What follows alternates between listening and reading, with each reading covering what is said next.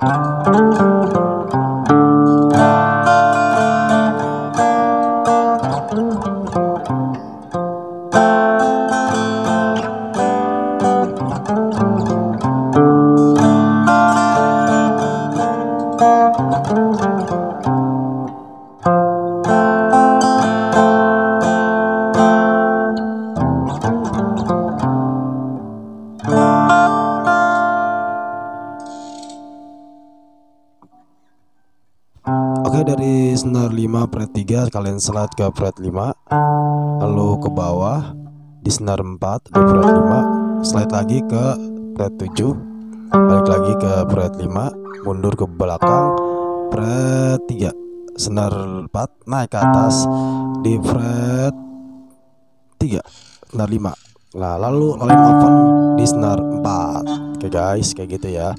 Lalu ke kunci D kalian up down langsung ke bemol oke kita balik lagi ke versi 2 nya sama kayak tadi slide ya ke bawah slide lagi.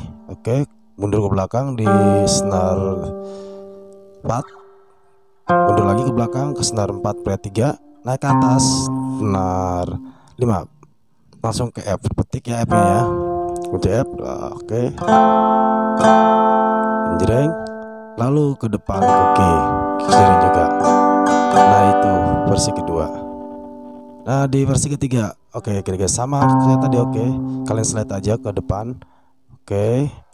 Lalu ke bawah di senar 4 masih fret slide lagi. Ke depan fret 7 mundur ke belakang fret 5 senar 4 mundur ke belakang lagi.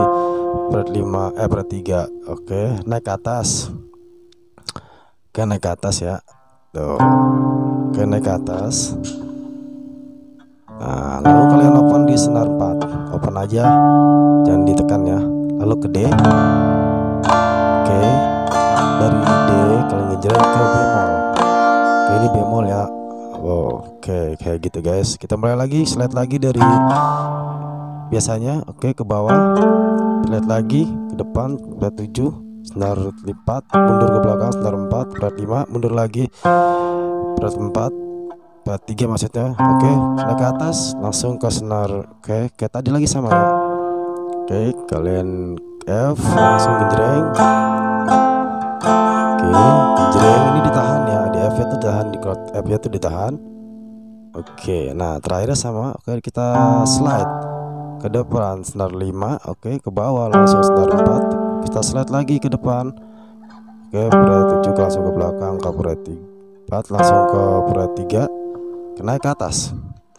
Oke dari naik ke atas itu oke.